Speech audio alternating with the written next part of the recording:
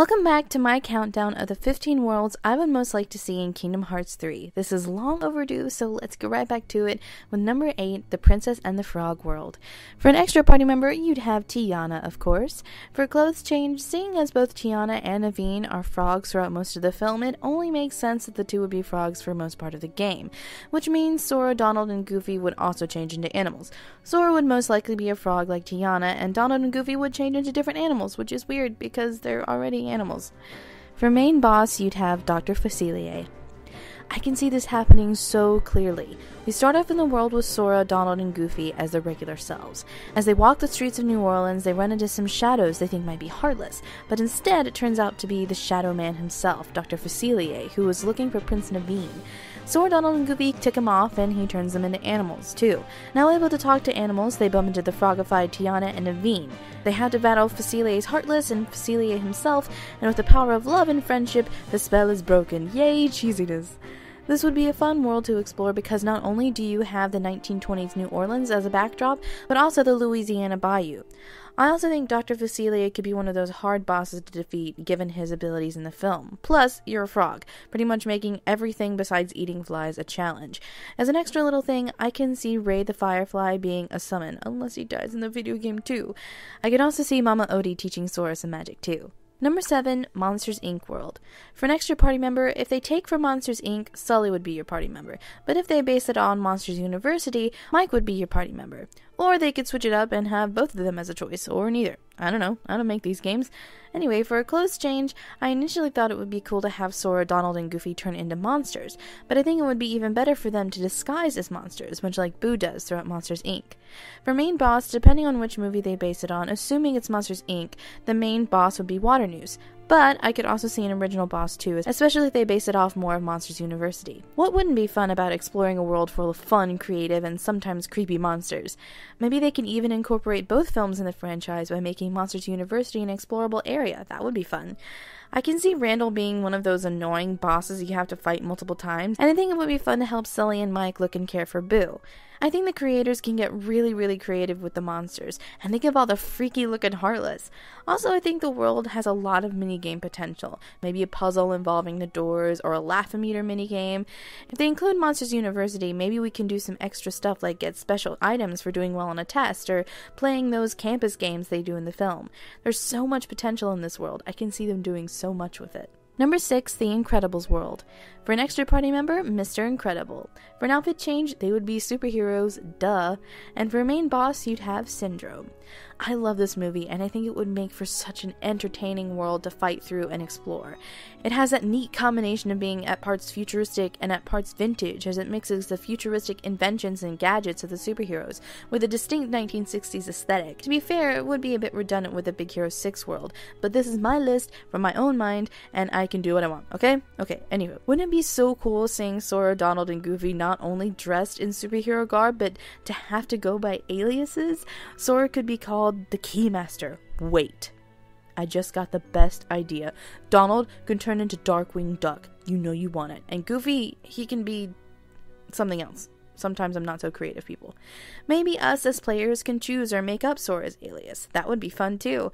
Flying around, beating up bad guys, what's not to love about that? This world could also totally be the world in which you learn how to glide. I can even see some minigame potential involving Dash, Violet, and maybe even Jack Jack. Number 5, Finding Nemo World. For an extra party member, this depends on if this world is based more on the original Finding Nemo or the newly released Finding Dory. So it would be Marlin or Dory respectively. Personally, I'd prefer for Dory. What can Marlin do? Worry the Heartless to death? For a clothes change, Sora is totally gonna be a fish. What kind of fish, you ask? I don't know, but he will be a fish. As for Donald and Goofy, I guess it would be a cop out for them to be the same creatures they were in Atlantica. Maybe they'll be fish too. Who knows? There's lots of fish in the sea. See what I did there? I crack myself up sometimes. For main boss, there's not really a bad guy per se in Finding Nemo or Finding Dory, so I think the main baddie would have to either be a Heartless or an original character. Let me ask you guys a serious question. Of all of you who have seen Pixar's 2003 animated classic Finding Nemo, are there any of you who did not like the film? Well, let me save you the trouble of answering. The answer is no. You loved the film. Everybody loves this film. This is one of Pixar's crowning achievements, and for a studio who has brought us other gems like Up, Toy Story, and The Incredibles, that's saying something. That being said, I think the story of Finding Nemo would be a fun one to recreate in a Kingdom Hearts setting. You help Marlin and Dory swim around the ocean in various adventures to help find Marlin's lost son, who may or may not have been captured by Heartless. As for the Finding Dory side of things, it would just be the other way around, but maybe Hank instead of Marlin. Of everything, I know two things for certain. Bruce the Shark would have to be a boss if this world exists in KH3, and it would be a replacement of Atlantica. I think it's worth it to give it a shot. Also, I can totally see some sort of mini game involving the moonfish, and most definitely a mini game involving Crush and Squirt. Those guys are the real stars of the movie, let's face it. Number 4 Toy Story World. For an extra party member, Buzz Lightyear might be more of the obvious choice, but I would love to have Woody fight by my side. For clothes change, obviously Sora, Donald, and Goofy would be turned into toys. Wouldn't that be fun? As for a main boss, this one is kind of tricky.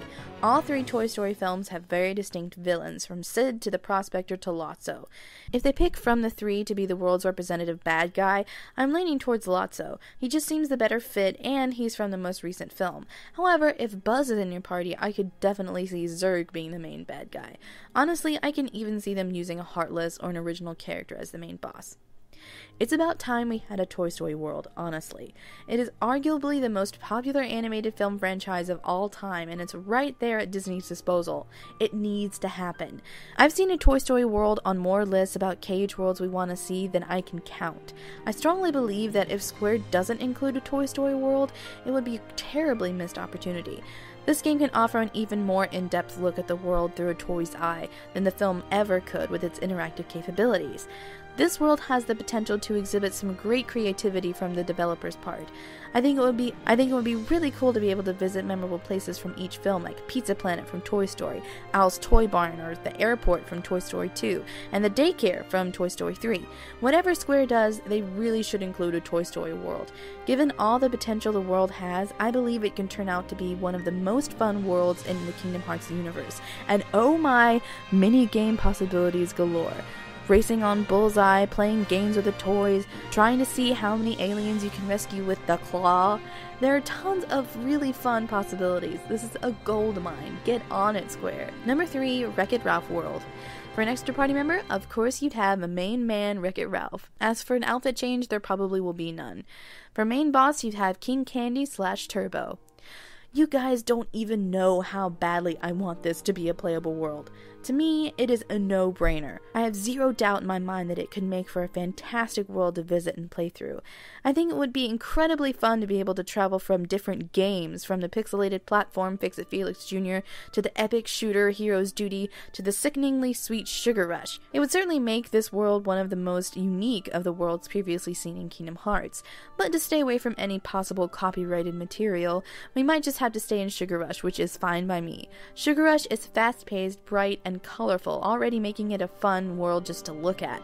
The candy theme lends itself to some pretty fun, creative, and slightly creepy Heartless. The fact that the world is already a video game makes things a bit easier.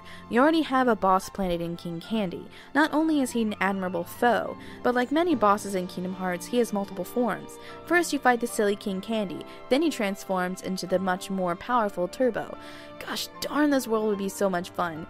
It reminds me of the Tron worlds from KH2 and Dream Drop Distance, but more colorful and actually exciting. It's like a game inside of a game inside of a game. Whoa, video gameception.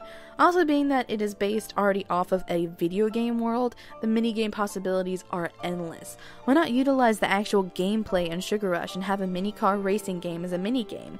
It's so obvious. I can also see using Vanellope's glitches to our advantage as an ability, or maybe even an advancement of the Thunder Spell. Number 2 Star Wars World. For an extra party member, preferably Luke Skywalker, but Rey would be awesome too. For clothes change, OMG, Sora, Donald, and Goofy would totes dress up like Padawans. As a main boss, Darth Vader perhaps? Okay, I know a lot of people are really on the fence about having a Star Wars world in Kingdom Hearts 3. Some people outright hate it, and quite a few think it would be the awesomest thing in the whole planet for Sora to travel a long time ago in a galaxy far away. In the case of both Marvel and Star Wars, a lot of people much prefer the KH creators to choose exclusively from the Disney canon. Well, that ship already sailed when they had the awesomely awesome Nightmare Before Christmas worlds, but I can see how some people can think it would be selling out. However, I am definitely in that camp who think it would be awesome to see a Star Wars inspired world. While I think it might be difficult for Nomura and his crew to try to condense the massively dense Star Wars mythos into a single world, if they do it right, it could be the coolest world we have ever seen in a Kingdom Hearts game. My question is, which film series will they choose from? The original trilogy, the prequels, the cartoon series, or the new films kicked off with The Force Awakens? I prefer the original trilogy as it's most iconic, but it would be a good way for Disney, Lucasfilms, and Square to cross promote. This world not only would look gorgeous, but there is so much creativity and awesomeness to work with. I just know the developers can do something really special with it. However, it could be just too big to handle. But two words lightsaber, keyblade. That is all. And number one, everybody saw this coming Frozen World. For a party member, while everybody wants Elsa to be in your party, Anna would probably make more sense. For clothes change, probably none, but it would be cute for Sora and the gang to be dressed in winter type clothes. For a main boss, possibly Hans, or maybe even an original boss. Heck, I can even see Elsa being a boss too. Let's be honest, the developers would be foolish if they didn't include a Frozen world in KH 3. Foolish, I say. Everybody freaking loves Frozen, including me. Though only a few years old, the film is quickly becoming a Disney classic in its own right and is also the highest grossing animated film of all time. This needs to be a world square. If it's not, you're missing a huge opportunity here. Not only would this world look absolutely breathtaking with the new PS4 graphics, but it would be a really creative world to explore. The magical possibilities make for some really neat ice centric Heartless. I can even see Hans or even Elsa being tempted by the members of Organization 13 to using their powers and influence to the organization organization's bidding. Elsa, of course, would be redeemed. Hans, not so much. Freaking hate that guy. I personally think it might be more interesting having Elsa as the villain, as she was originally intended to be as such but it would make this world unique in that the villain is completely redeemed in the end, rather than destroyed or brought to justice. The emotional tie between Anna and Elsa needs to be a focal point in the world, just like it is in the movie, thus making the characters and their motivations not only relatable, but also compelling. If done right, and I think it could be done right, this could be one of the most emotionally compelling Disney inspired worlds in the KH franchise. This needs to happen, Square, and I can almost guarantee you that it will in some shape or form. Obviously, this would be the place to learn or upgrade your Blizzard spells. I can also imagine the Keyblade looking all icy and cool and epic, with a cheesy name like Sisterly Love or something. I think it will be adorably awesome if Olaf becomes a summon. What he'll do, I don't know, but I want it to happen. Maybe he can make the Heartless laugh to death. I don't know. Well, there you have it. Those are my top 15 worlds I most want to see in Kingdom Hearts 3. I hope you enjoyed the video. Please make sure to subscribe for more Disney Kingdom Hearts and nerdy content. Thanks for watching.